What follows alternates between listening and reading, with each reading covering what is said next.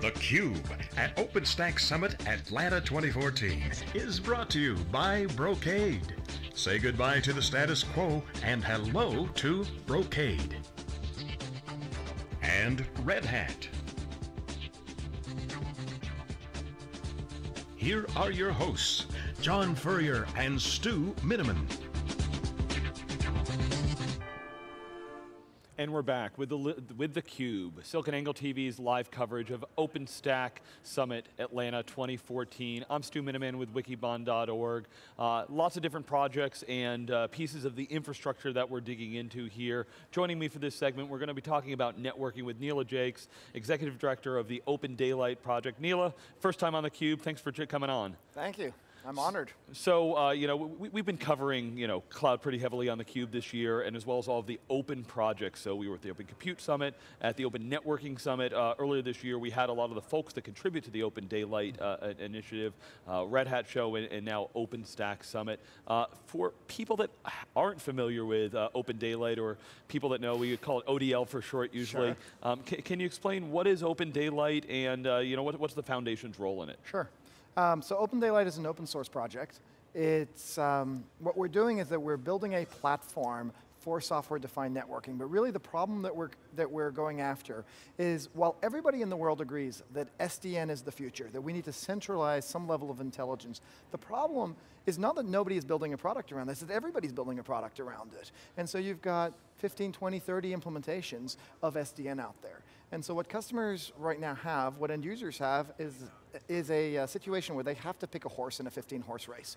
And rather than going in and picking one off and they're sitting on the sideline saying, let's see where things shake out. What Open Daylight is doing is building one code base that the entire industry is going to either pick up and put within their, within their products or plug into. And we're already seeing that momentum. Okay, and, and, can you speak to a little bit of who makes up the Open Daylight ah. project, who contributes code, and uh, there was some news at the beginning of the week, ah. HP is now a platinum member, so give, right. give, us the update. What's the lay of the land of Open sure. Daylight? Uh, we pretty much have all of the major players in the space that are participating in Open Daylight. You know, from Cisco and IBM to Brocade, Ericsson, Citrix, VMware, HP you mentioned. Uh, obviously, now I'm sure one of my board members will beat me up. Uh, there are 10 of them, so um, you know, from large companies like that. We also have small companies uh, out there. Small uh, company out of Canada called Inocybe. Um, we also have, uh, you know, some smaller, some smaller startup divisions of larger companies like Nuage. So pretty much if you're a player in the networking space, you want to participate in Open Daylight, and they are. All right, so uh, in, in, the keynotes here at uh, OpenStack, uh, they, they, made a point of saying that they're reaching out to you know, other open source projects, right. and, and, Open Daylight was one of the ones. C can you reconcile for us, you know, what, what, what's the overlap or the intersection sure. between Open Daylight and OpenStack? You know, we, have got Neutron for right. Uh, you, know, you know, networking, so how do they fit together? Sure. Um, so let, let, I mean, let's start at that level. What is OpenStack doing? OpenStack obviously is a cloud management platform. Um, it's an open source project to create a cloud management platform. Now, if you think of a cloud management platform, what you want to do is say, let's say I'm creating a new tenant, or let's say I want to make a change and expand the resources for a given application. Uh, what I'm going to do is go out and say, I need to stand up a set of VMs. I need to connect that to some storage, and I also need to uh, connect that to some network. The challenge that we have in networking, unlike the other two, is that they haven't fully been abstracted yet. And so on the network side, very quickly, what, you, what you're going to do is call your network guy, and he's going to create a whole bunch of VLANs, and, and then you're going to test those VLANs and connect them into your VM. You want to expand or change the way things are routed, you call your network guy, he makes a set of changes. So Neutron's already an improvement in that, in that with Neutron, You're able to send some level of uh, symbol commands down to the underlying networking hardware. But what Neutron is missing is a controller. Neutron in itself doesn't hold any intelligence. And so SDN controllers, Open Daylight being one of them certainly, uh, bring that level of network programmability that is sorely needed to truly have a fully automated cloud or software-defined data center. We connect into OpenStack via the Neutron plugins. All right. Um, you know, think about since the uh, Open Networking Summit, one, one, of the one of the bigger news items, at least that I tracked, was uh, Cisco's OpFlex solution right. is now moving into uh, Open Daylight. Uh, can, you explain what that means? You know, I think OpenStack has lots of different projects, and sure. I, I, there's different pieces of it. Is Open Daylight, you know, a monolithic software stack, uh, or you know, are the components? Right. How does that work? Yeah, I mentioned that in SDN, one of the key things in SDN is uh, bringing intelligence up out of the underlying hardware. And different people have different views of how much to do that. Um, what Cisco has said is really the most important thing uh, for them, or what they believe in the world, is that you need to be able to capture application policy. Um, you've heard people like Mike Dvorkin, who I'm sure has been on at least once on theCUBE, talk about his view of an imperative model versus a declarative model. In his view, the imperative model, of just telling the switch what to do with the flow is the wrong way. The right way is to capture the needs of the application and to pass that down to the hardware. We in Open Daylight, don't take a view. Both models could be right. Uh, we want to support both models. Specifically the, the OpFlex group, and it started with Cisco, but there are other folks working on it, uh, working closely with the group policy. You've got IBM, you've got Midokura, you've also got Plexxi who are all working on this project, is an attempt to create a framework for capturing that application policy in a policy repository and then communicating that down the stack, down the southbound side, so that it can be implemented by the hardware. Right. I think it's very exciting. Yeah, so, so people on the outside obviously know Cisco has you know been dominated in network so networking for so long. Yep. Um, when when Open Daylight came out, there's a bunch of pieces of, of the code that have that have come from Cisco. Right. Uh, we, we had Lew Tucker on on the Cube talking about how Cisco's moving into open source. Can you give us your viewpoint as to you know is, is Cisco dominating there? Um, you know how, are they fitting in with this whole sure. open source movement? Yeah, it is absolutely true that SDN is fundamentally disruptive to everybody in the space, and obviously the largest. Uh, member of the space is Cisco. And so it's not surprising that Cisco isn't sitting on the sideline and is participating in the biggest project, which is becoming the biggest platform in software-defined networking. Um, they also have the most resources, and so they've contributed, they've been a really great partner and member uh, for us. They contributed some of their controller code, uh, some of their teams are in there, but it's a really diverse community. What you see is that on many projects, you've got a set of people who are paid for, uh, who receive a paycheck from Cisco, working really closely with people from IBM, from Red Hat, from Brocade, uh, from others. But I think for me, the most interesting part is that what happens when they get in is they, ha they have a badge, they turn it over. And you listen on the call, you have no idea who's actually paying that person's paycheck. They work for ODL.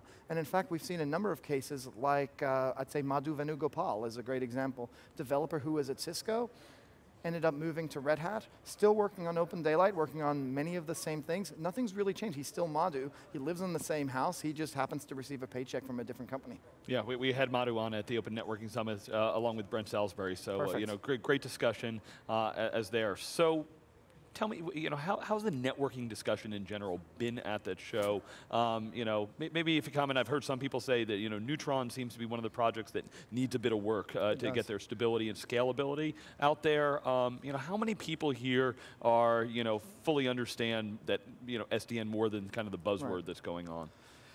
You know, networking, networking is certainly a big area of discussion, and part of it was where Neutron came from. Um, you probably all know that there was a company called Nicira, and really Neutron and Nicira, um, people thought of them in one breath, and they were the company behind it. They've uh, contributed so much to the open community with OVS that they continue to invest in.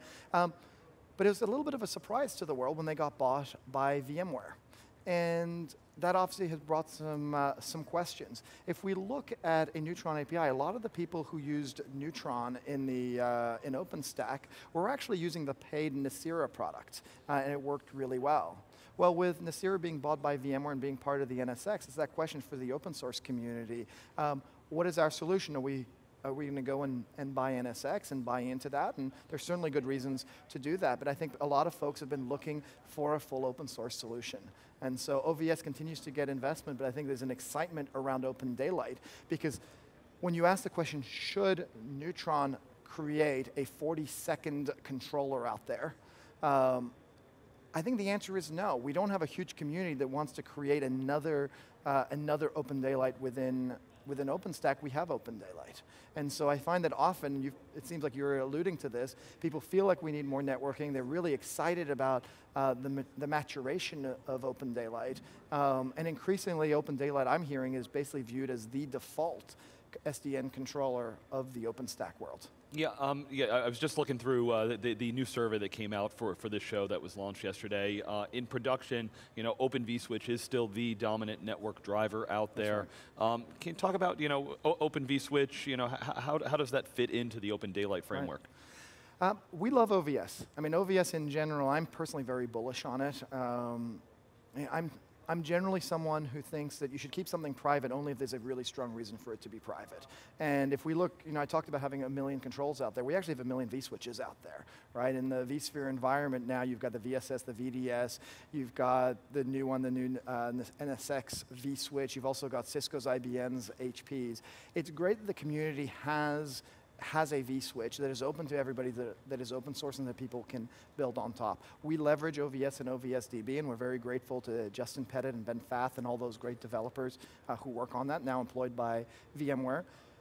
But just like OpenFlow, OVS and OVSDB can't be the only way that we talk southbound you have to recognize, I think this is the mistake I see by so many people, even vendors down, downstairs that I visit, is people seem to think that they can dictate one architecture. And they've got a brilliant way to do something in one specific way, and they're going to assume that your data center, your carrier network, is going to buy all into that. That's not the real world. The real world is you have a whole bunch of gear, and you have to um, you have to hold on to that gear for three years, five years, seven years as it is. And so I see people using BGP, using NetConf, using PCEP. Uh, in the cable industry, they've got, their, they've got their own. They've got the CMTS and the cable modems talking DOCSIS. And so from the Open Daylight side, we've made a critical decision to build a service abstraction layer so that we can leverage OVS if it's in there and we love it. But it can't be the only way to talk to things. We have to talk to physical hardware with OpenFlow or with anything else that you have. Yeah, so, so Neil, I, would like to get your, your take on VMware. So sure. obviously the Nicira acquisition really, you know, just put SDN on the map and everybody was talking about it. Mm -hmm. um, you know, Martin Casado, you love having him on the cube, you know, really important person in the industry. However, I, I, was drilling him a little bit at the Open Networking Summit because he's gone from being, you know, a full supporter of everything open source to now talking open interfaces. I, I happened to again, be able to ask a question of Pat Gelsinger, the CEO of VMware yeah. last week, and I said, Pat, you know, it seems like you're moving further away from open source, you know, what's your position on open source? And he said, you know, we're not changing our business model. Open source is not a primary thing that, you know, that we look at. So, you know, it, with that context, you know, you know, where, where does VMware sit in kind of an ODL and OpenStack world? Right. I mean, I should start by saying I spent seven and a half years working for VMware, so I know those guys and I have a tremendous yeah, love in my heart I, have been VMware. a vExpert the last four years and worked with them since 2002, so. I think a lot of what you say is accurate. Yeah. Um, VMware, unlike most other companies, um, was able to get a platform in a sense, in a full proprietary, without building a community around it. Because they were the first with vSphere, because there was nobody else out there, a community formed around them. And so in many ways, you can look at VMware as being this decade's Microsoft, uh, in a sense. And that, that's been a fantastic platform. I think they're missing something. And I'll be honest, I was part of missing it in the early days. When I was asked when I was at VMware, I was part of the group where we were looking at OpenStack. And I said, that can't work. I mean, come on. And I was completely wrong, and so was everybody else there. And I think that, I personally think they're missing a major shift in the industry. Um, and we already see it. NSX is a great piece of technology. Um, I think there are many good things around vCloud Director, but by keeping everything closed, by assuming that 10 people in a room can get the right answer and everybody else is going to anoint them and agree, you're the platform and I'm going to work with you, I think is naive because in networking, and frankly in cloud, unlike in virtualization, they're not the only game in town. There are many players who have a whole set of really intelligent uh, experts and who have great hardware and relationships. And really the game is now is now moved to a place where you have to be able to work well with a whole bunch of players. And so I would like to see them, I think within Nicira, they've got a great uh, DNA that knows open source. I think Martin know, certainly knows open source, um, but the old style VMware needs to have more education. Yeah, and, and, just to VMware's credit, they do have 30 people here. I know they they've got folks working on Nova. They do. Uh, they, you know, they've got developers here, and absolutely you can do ESX inside of OpenStack. Um, you know, just something, by the time we get to VMworld, maybe their story will have uh, you know, matured a little bit. I think they're evolving. I think they're going in the right direction. Personally, I'd love to see it happen a little more quickly. Um, but yeah.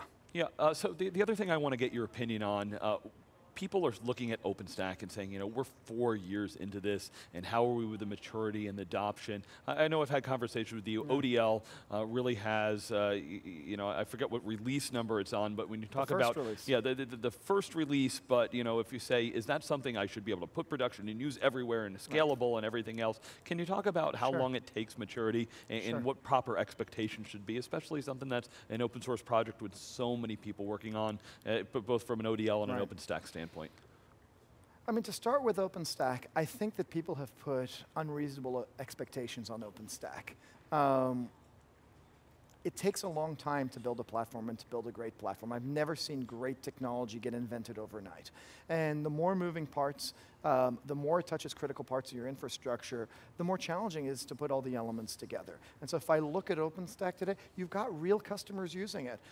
Now, is it surprising that it hasn't hit 100%, that it's mainly uh, early adopters, cloud provider, people who really have a pain as well as have capability? No, that's, that's in a sense what I would expect. VMware didn't get to where it is overnight either. Remember, it took 10 years and it was being used in test and dev and some limited environments for a long time. So on the OpenStack side, I think we're all waiting until you know, suddenly you get that inflection point and a million users start showing up at these things. I think it'll come. And it, what's important is to make sure you're going the right direction and got solid technology and components. I think the same is true in Open Daylight. And frankly, we're a few years, we're a few years behind where OpenStack is just because we got started later. As you said, we had our first release. And I want to remind you that our first objective is to create a platform that the industry will pick up. The first problem we're solving is there are 40 controllers out there. We want people who are in the industry, who maybe already have an, a controller or thinking of building a controller, to build around Open Daylight. Because when you do that, you get the benefits of interoperability, you get the ability to test against a wider range of things. Nobody can own all of that. On that, great success thus far. Cisco's shipped a product, IBM's shipped a product, people like Ciena have talked about, we want Open Daylight at its heart. Other people haven't necessarily shared specifics, but the HP announcement of HP doubling down on VMware can clearly get a sense of you know, a shift of how strategic and important it is for those companies. So on that, really doing great from an end user, your question becomes, when will end users pick up a mostly open source solution as opposed to a vendor supported solution? Well, I'll start by saying 90% of users want the vendor supported, not a full open source. But I do think it's actually very important.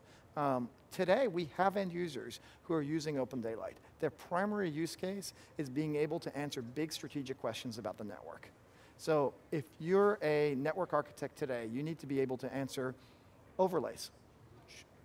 Are overlays the future for us? What does it mean for our network? How would we manage it?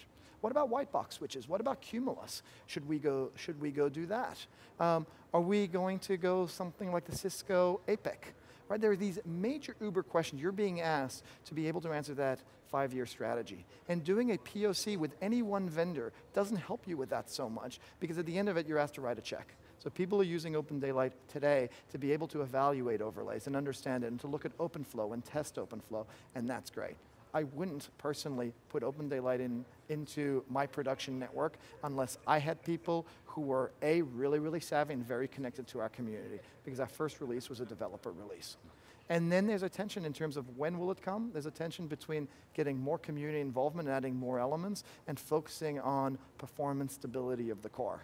Um, and we'll see how that shakes out. The TSC, you've got Dave Meyer next. I urge you to ask him that question uh, yourself.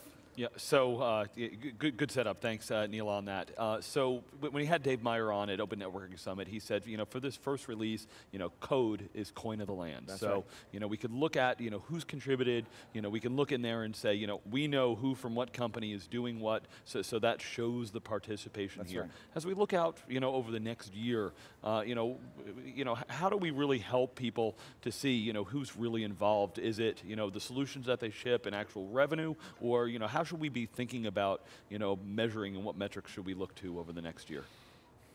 I think you're asking the right question, and I'm so glad, because I'm often used to, I, I, people often say, how many customers do you think will be using the pure version of Open Data? And I'm like, again, we'll see some of that, but that's not necessarily the right metric.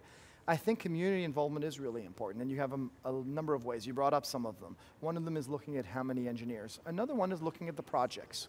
I've been really, really happy to see Hewlett Packard, seeing Citrix, participating in and submitting new projects that we have right now. It's so great to see something like group policy not being dominated by one company, but having four companies participating in that. So I think I would start by looking at those two. Another one, which you know you might not think of, but in open source, committer status is something that's really important. And so as you see people upgrading uh, to committer status um, from simply contributor status.